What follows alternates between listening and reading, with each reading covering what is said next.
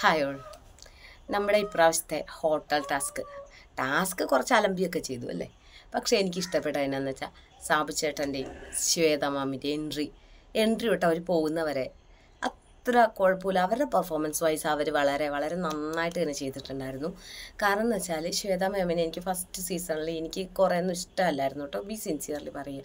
ശ്വേത മാമിനെ ആ സമയത്ത് എന്തോ പേളിയോടുള്ള ഇഷ്ടം കൊണ്ടാണോ? ശ്വേത മാമൊക്കെ അന്ന് ഒരു ഗ്രൂപ്പ് കളി പോലെയോ അങ്ങനെ കുറച്ച് ഭരണം പോലെയോ അങ്ങനെ ആ അതിലൊന്നും അത്ര ഇഷ്ടമുണ്ടായി ആസ് എ ആക്ടർ ഇഷ്ടം ആക്ട്രസ്സായിട്ട് ഇഷ്ടമാണ്.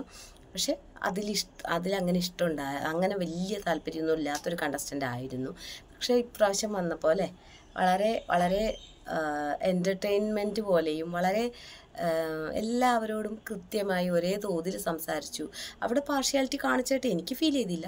എല്ലാവരോടും ഒരേ തോതിൽ സംസാരിച്ചതായിട്ട് തോന്നി. ഞാൻ കൂടുതൽ കാണാത്തതുകൊണ്ടാണോന്ന് എന്നറിയില്ല ഞാൻ കണ്ടത് വെച്ചിട്ട് മാത്രമാണ് ഞാൻ പറയുന്നത്.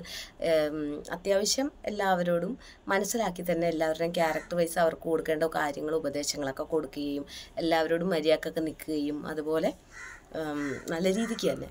നിന്നു പോയി. ഇന്നത്തെ എപ്പിസോഡിൽ പോകാനാണ് ഇരിക്കുന്നത് കേട്ടോ.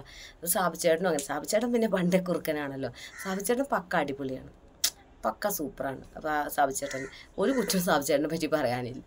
എല്ലാവരുടെ അടുത്ത് ആ പണ്ടത്തെ കുറുക്കൻ കോഴി ആ ഒരു ഇത് തന്നെ. കോഴിയല്ല കുറുക്കൻ. ആ കുറുക്കൻ. ആ ഒരു സ്വഭാവം തന്നെ സാബിച്ചേട്ടൻ ചെയ്തിട്ടുള്ളത്.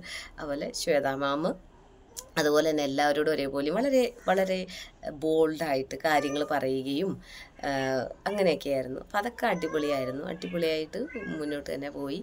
ഒക്കെ കണ്ടിരിക്കാനും വളരെ രസമായിരുന്നു ഓക്കെ. അപ്പോൾ അടിപൊളി ഗസ്റ്റുകൾ അടിപൊളിയായിരുന്നു എന്ന് പറഞ്ഞതാണ്